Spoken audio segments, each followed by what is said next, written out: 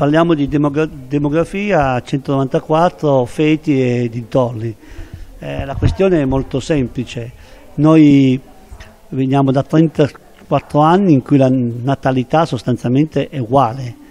Eh, sono diminuiti i numeri assoluti, ma non bisogna farsi ingannare. Il numero di figli per donna è rimasto sostanzialmente lo stesso. Nel 1986, cioè 34 anni fa, era 1,1 34 o 36 non mi ricordo più comunque e adesso è 1,32 34 anche lì eh, in questi anni. In questi 34 anni è rimasto sostanzialmente uguale il punto più basso l'ha avuto nel 1995 con 1,19 il punto più elevato 1,42-43 a fine anni 2010 da quelle parti. L'altra cosa interessante è che eh, in 20 anni cioè dal baby boom 66-67 fino all'86, cioè negli anni migliori, gli anni d'oro eh, della classe operaia, del sindacato, eh, del benessere in qualche modo che cresceva, la percentuale di figli per donne è scesa da 2,7 a 1,36, si è dimezzata. Questo perché? Perché questo è un effetto eh, positivo, io credo, dell'emancipazione femminile, che nel momento in cui la donna è svincolata dalla schiavitù riproduttiva è svincolata da dover fare figli e stare a casa, fare la casalinga, eh, non come scelta ma come obbligo, eh, dovendo lavorare, avendo più ambizioni le ragazze, eh, chiaramente cercano di fare carriere, quindi ritardano il fatto di fare figli, ritardano il fatto di eh, scegliere una vita diversa e cercano di barcamenarsi, perché se tu fai figli e molli eh, ti passano davanti tutti quanti gli altri. Eh, un dato significativo è che le donne che hanno 50 anni, eh, l'11% non ha fatto figli per varie ragioni personali oppure eh, non sono venuti. Eh, le donne che hanno 40 anni, cioè in 10 anni, questa percentuale è del 23% e quindi più che raddoppiata. E oggi, bene o male, una ragazza su quattro, una ragazza su tre dice chiaramente che non vuole fare figli, che non li farà, perché i figli sono visti come un ingombro. Qui non è questione di asili nido, di aiuti, che, di bonus, che ne abbiamo visti di tutti i colori negli ultimi vent'anni, dal progetto Gemma degli antiabortisti ai 4 milioni eh, 4.500 euro di formigoni che non so se poi li ha dati o meno, ad altri progetti, al bonus mamma, al bonus nido, perché sì, sono aiuti. Chi fa già figli li aiuta, ma non sono questi che portano, inducono qualcuno a fare figli. Tanto è vero che è nozione comune che chi fa più figli sono le fasce più povere e i più ricchi. Eh, la battuta è sempre la stessa, i più poveri fanno figli, tanto crescono da soli in qualche modo, eh, i più ricchi fanno i figli e non li vedono neppure perché tra babysitter e altro qualcuno se ne occupa. Questo è il punto eh, dico, importante. Eh, corollario è il fatto che in Francia dove si dice che fanno tanti figli, fanno, tre, fanno 30% di figli più delle italiane, eh, dipende anche quale fascia di popolazione fa più figli perché anche lì eh, le donne di origine magrebina fanno più figli delle donne francesi, ma questo è secondario, però fanno anche il doppio di aborti, più del doppio, sia spontanei che volontari. Persino la Svezia fa il doppio di aborti delle italiane. Eh, questo per dire che fa, eh, si appella a dire fate figli, che basta qualche soldo eh, per incentivare, non è quello il punto, fare figli è una scelta personale di tipo riproduttivo. La seconda questione, quella da 194, è molto semplice. Eh, io faccio parte del mio servizio, copre, fa, un, fa il 4% degli aborti de, di questo paese, almeno 10 regioni fanno meno aborti del mio servizio, sia volontari che spontanei, questo per capirci, perché eh, le, le, tecniche e le, le, le, criticità sono le stesse, sia quando uno interrompe volontariamente la gravidanza, sia quando la gravidanza si interrompe spontaneamente, ma bisogna in qualche modo indurre l'aborto. E, e qui il punto è semplicemente non perdere tempo sulle polemiche che per 40 anni hanno bloccato la 194 con il peccato originario che l'Italia è l'unico paese che l'aborto si fa solo nel pubblico, è l'unica prestazione che si fa solo nel pubblico e questo crea chiaramente un collo di bottiglia, non è così in Olanda, non è così in Francia, non è così in Inghilterra e, e quindi la polemica è sempre contro l'obiezione di coscienza come se ci fosse qualcuno da accusare, di incolpare come fossero gli untori per il Covid e non invece la, la colpa di chi ha la responsabilità di organizzare i servizi. Dico sempre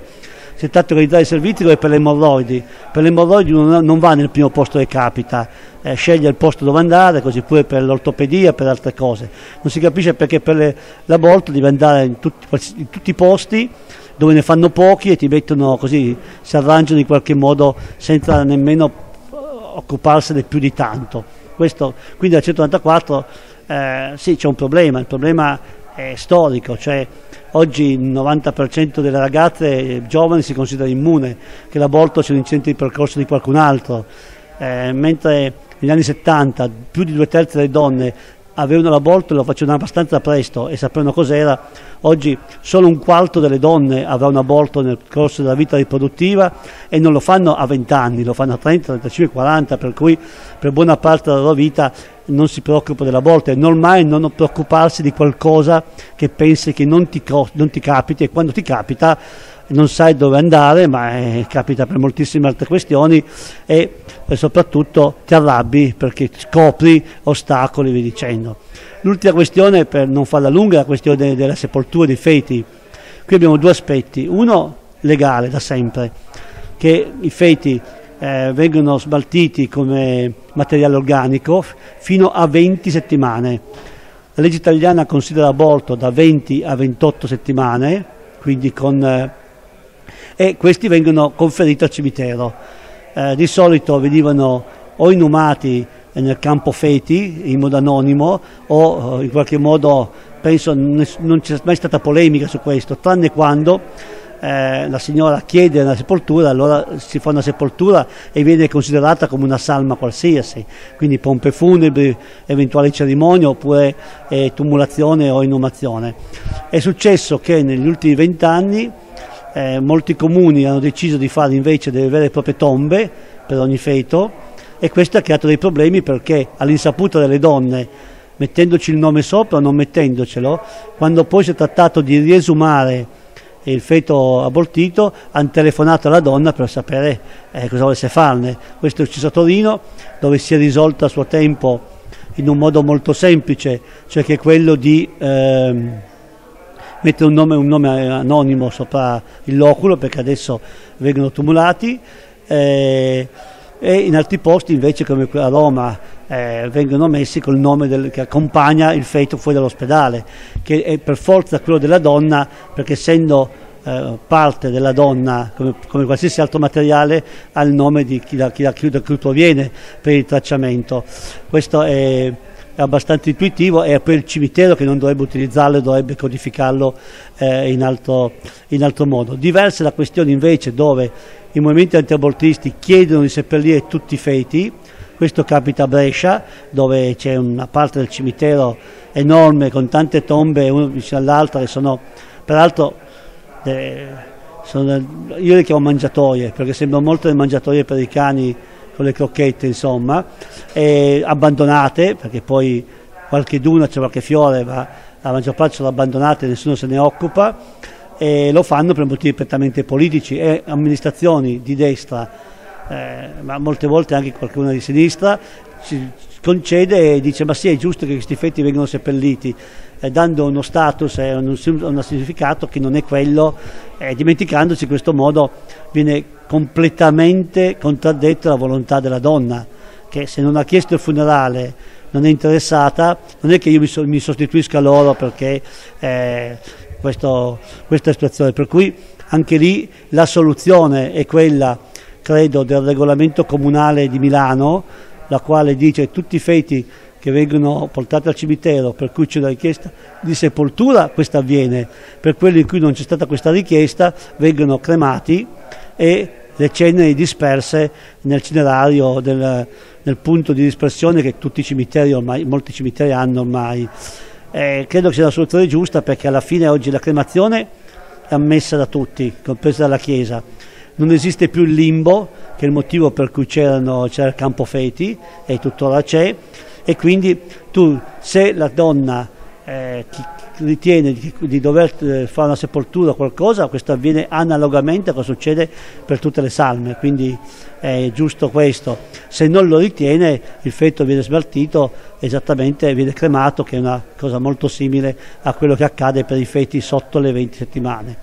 Questo lo dico perché è molto complesso il tema, molto difficile eh, e la gente non ha voglia di parlarne di questo. Anche, nella, anche nelle assemblee radicali, nelle assemblee si accontenta di slogan, si accontenta di fare cortocircuitare poche battute, ma un approfondimento non lo si fa mai, perché è un tema ormai veramente negletto, un tema limitato a pochi operatori